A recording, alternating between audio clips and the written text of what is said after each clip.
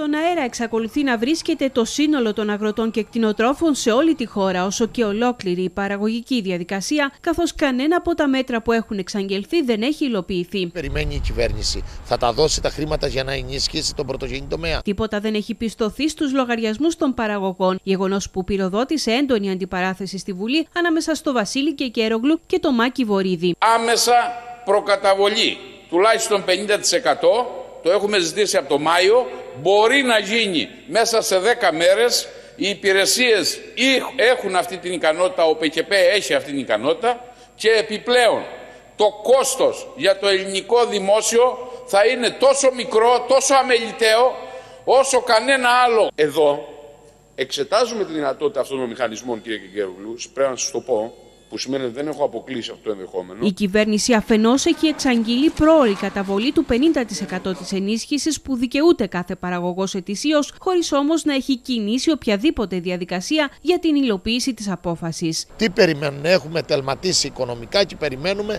άμεσες ενισχύσεις από τα χρήματα που ήδη υπάρχουν στα συρτάρια του Υπουργείου Αγροτικής Ανάπτυξης.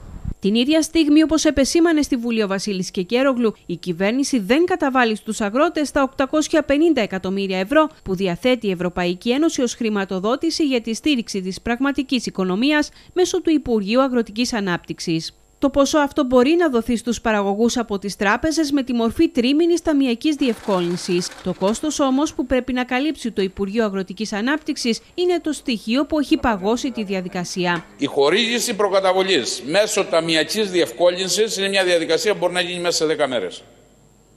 Και αν θέλετε με οτιδήποτε εγγύηση πάμε στις υπηρεσίες του ΟΠΕΚΕΠ μαζί να δείτε ό,τι μπορεί να γίνει.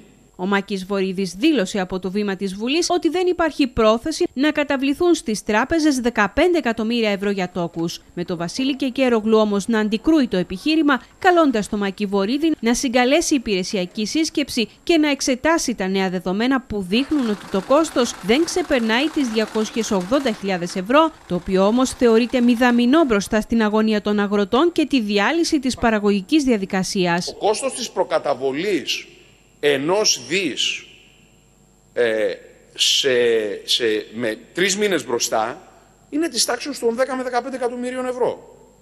Τι να κάνουμε, για βάλετε κάτω λίγο τα νούμεράκια. Άμα τα βάλετε τα νούμερα είναι τόσο. Άρα μελιτέο δεν είναι. Αν μου λέτε τώρα, εγώ για να τοποθετηθώ σε αυτό, ότι αυτό παραδείγματος χάρη θα το υπομιστώ και θα το αφαιρέσω από τα 150 εκατομμύρια που έχω για ενισχύσει, σας λέω ότι δεν θα το κάνω. Σας το λέω κατευθείαν. Δεν πρόκειται εγώ να αφαιρέσω 15 εκατομμύρια ενισχύσεων στους παραγωγούς για να πληρώσω τόκους στην τράπεζα για να έχω προκαταβολή των τριών μηνών. Επειδή λοιπόν διαμαρτύρεστε για το 1% θα σας πω ότι τούτη την περίοδο τα επιτόκια είναι σχεδόν μηδενικά. Σχεδόν μηδενικά. Το κόστος επομένως της προκαταβολής για τρεις μήνες κατά την άποψή μου δεν ξεπερνά τις 280.000 ευρώ. Αυτό είναι το κόστος κύριε Υπουργέ. 280.000 ευρώ.